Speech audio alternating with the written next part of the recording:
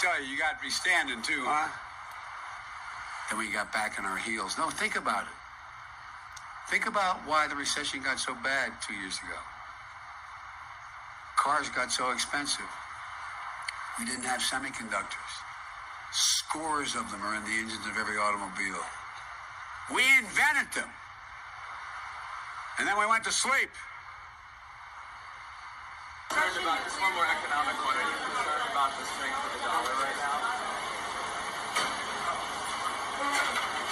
I'm not concerned about the strength of the dollar. I'm concerned about the rest of the world. Does that make sense?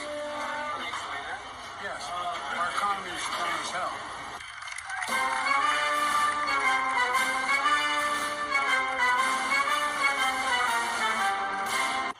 It was at this moment that he knew. He fucked up. Wonder why our country's going to hell. You look at that.